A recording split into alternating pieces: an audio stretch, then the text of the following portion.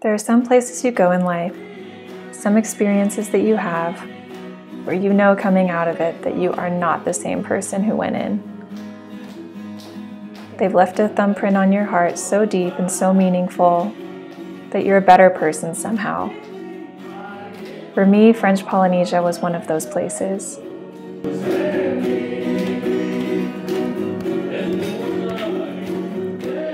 Getting ready, sorting through this epic mess here to get out and swim with the whales. So every morning we have breakfast here at like seven, and then we head out to try to be on the boat by eight, but we're never on time, but we try. and it's from breakfast.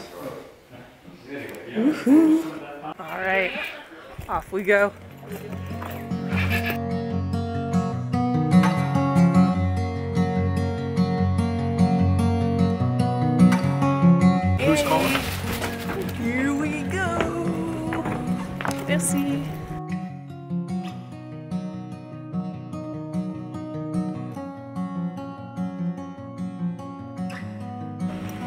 All right, it's very bright. I can't see you, but hopefully you can see me. Time to go find some whales.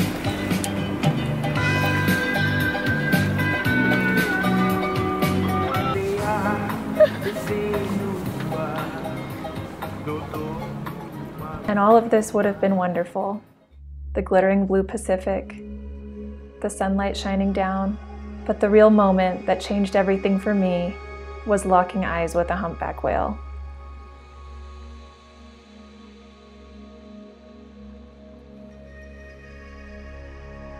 It's hard to put what swimming with whales is like into words. They're so big and yet so aware of their bodies in a way that I am not even aware of my own body. The way that they move through the water is so careful and so thought out, knowing that we mere humans are right there. And the whole time, they're watching you. And they could just easily swim away, but they don't. They come back and they keep playing. I got in the water seven times throughout the week, and there were three times when I swam with the same pot of whales for over an hour. They just kept coming back around and around, playing, diving deep, and then swimming up. And it was just amazing to me that of all the other things that they could be doing, they chose to be there with us. This humbling experience with this gentle giant has changed me forever. And now I can't imagine who I would be had I never had this experience.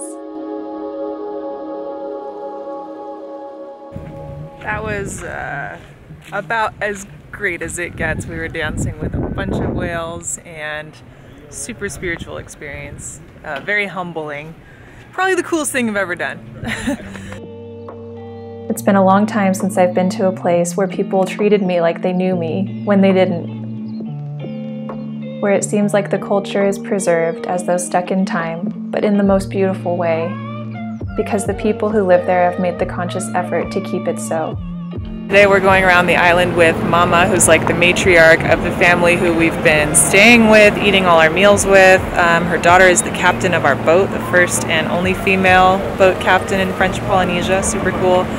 And it just feels like you are part of the family, like really genuinely part of the family right away. And the whole island feels this way. So super welcoming and friendly. And this is a little adventure we're having today before we see the whales later.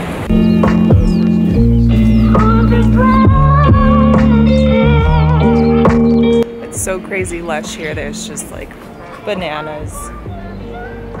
Bananas growing right there above me. And flowers that are seriously above my head. Hang on. Here's one that's my my height, but like this is towering above me and it's flowers and I'm surrounded by banana trees. It's look at this. So incredibly lush here. Look how tiny everyone is compared to these plants. Je m'appelle Madame Tavita Gisèle. Je fais le tour de l'île. Je raconte l'histoire et je suis né ici à Rurutu.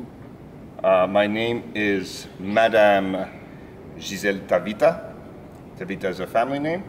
She is uh, guiding us here around this island on this tour to understand the history and the stories from. And she was born and raised here in. So this is a pretty significant cave. Every January they have a big party here, but if and only if the youth of the village can lift this giant 250 pound stone and everyone has to be able to do it. So they have to call on their strength and fortitude and all of the strength that they get from the land, the sea, and the air in order to be able to do this. So it's a pretty big deal. It's like what the biggest party they have on this island, and this cave is major and represents a lot to them in their history.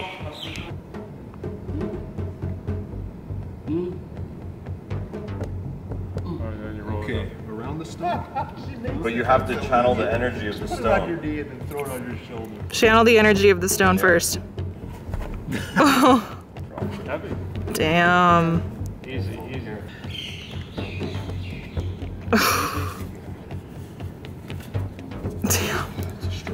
That looks so heavy. Stay right here. Watch your foot. Don't drop it. Don't drop it. Got it? Yep. Yeah, watch your foot. Watch your foot. Well done. Woohoo! Nicely done. Now we can throw a party. Party tonight? Yes.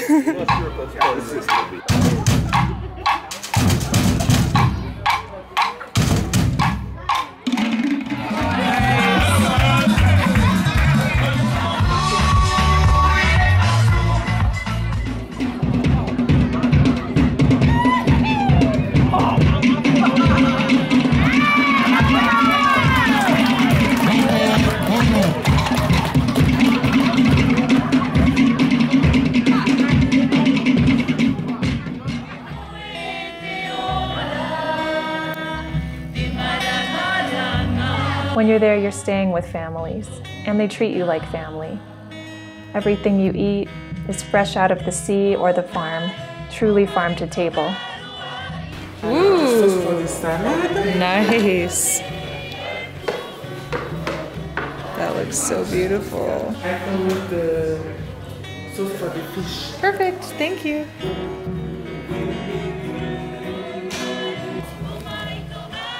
So bright and colorful. That's a pretty generous portion there. Now you're really living the dream. Uh, we are going to hike to the top of the highest peak in I have an old iPhone, so the drone from the top. Sweet is. We don't know the name of the mountain, but we'll find out. This is my friend who I always um, swim with whales with. he was in the Tonga video too. Yes.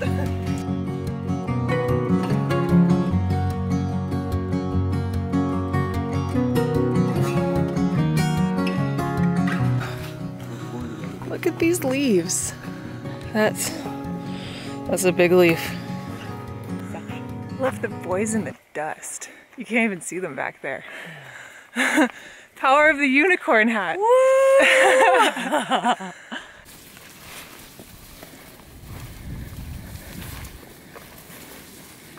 it is definitely gorgeous. Wow. I love that there are pine trees here. I know. Nice little midway view.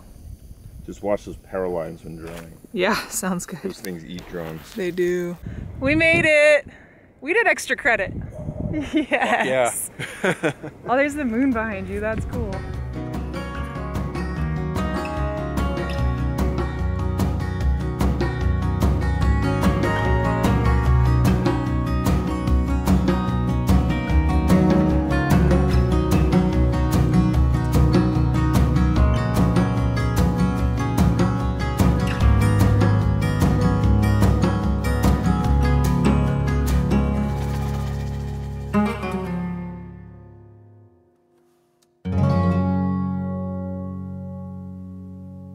I know that in the years to come, I'm going to look back on this time in French Polynesia with so much love and appreciation. Not just for the amazing experiences I got to have with the animals in the water here, but for the people.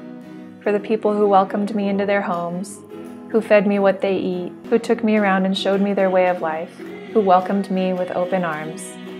And I could tell that they really meant it, and that was beautiful.